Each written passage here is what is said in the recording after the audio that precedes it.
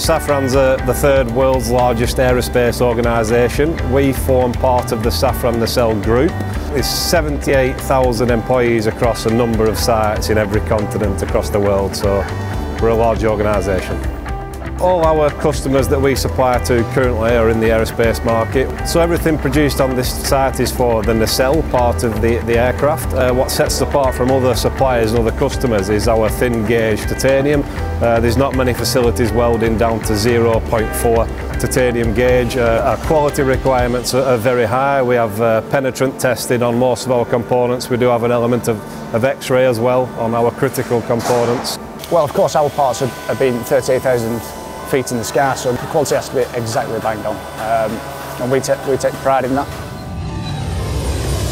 The tolerances are very stringent and due to the nature of the material thickness we do have the potential for weld distortion so yeah we do need to control it which the Miller product does help with that. So we contacted our local Miller distributor and we managed to demo a Miller Dynasty 400.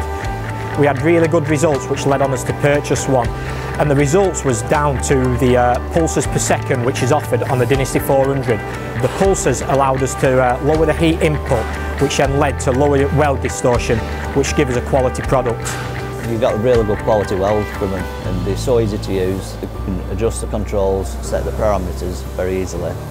If I need to change something, it's so simple. And especially if someone's been trained up and they've just come into the aerospace industry, it's not so intimidating.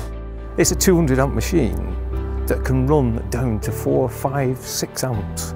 That's the beauty of control. And that's one of the reasons why Miller was brought in.